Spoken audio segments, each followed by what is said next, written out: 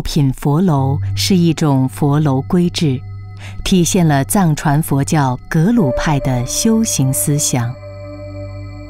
紫禁城的繁华楼是迄今为止存世最完整的六品佛楼，同时也是佛教学者们探寻格鲁派宗教思想最神秘的宗教场所。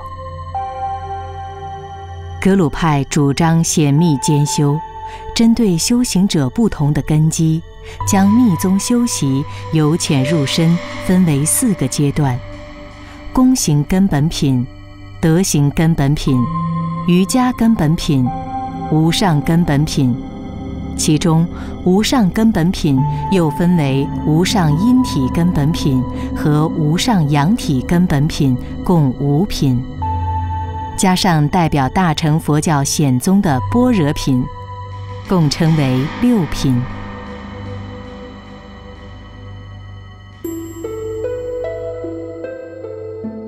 繁华楼一楼明间，供奉明代铜鎏金优田王旃檀佛像。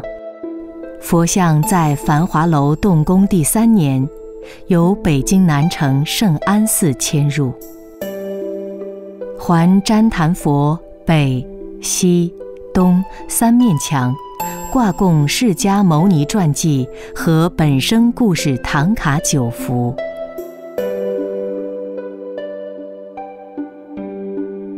二楼明间供奉木雕金漆宗喀巴大师坐像，他是格鲁派的创始祖师。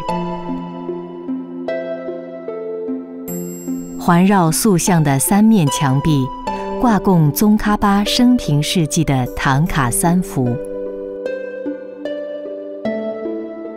繁华楼楼下民间之外六室，室内正中各供奉掐丝珐琅大佛塔，建成于乾隆三十九年。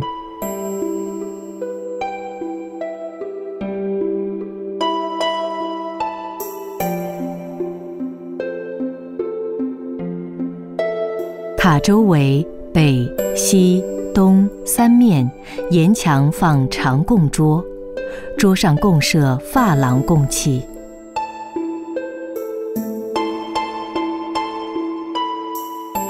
三面墙壁上部都挂供与墙壁等宽的唐卡各一幅，每幅绘有三位护法神。六室共五十四位护法神。守护着代表佛陀身、语、意的佛像、佛经、佛塔，也守护着这个修行空间。楼上明间之外六室是六品佛供坛，室内正中有天井围栏，连通上下楼。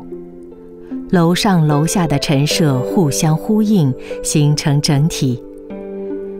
楼上六室每一品，靠北的墙壁供奉着九尊六品佛铜像，它们代表了所对应的这一品密法次第修行中最重要的九种密法经典。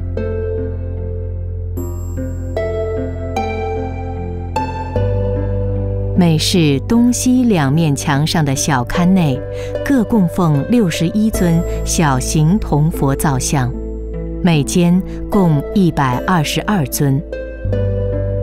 供龛下方的柜门中，还供奉了每品主要的佛教经典和法器。这样，每个品间象征佛陀身与意的三种法物，悉已具足。佛塔、佛经、佛像和护法构成的有机空间，配以纷繁复杂的藏传佛教神系，格鲁派的修行思想在繁华楼中被系统立体的呈现。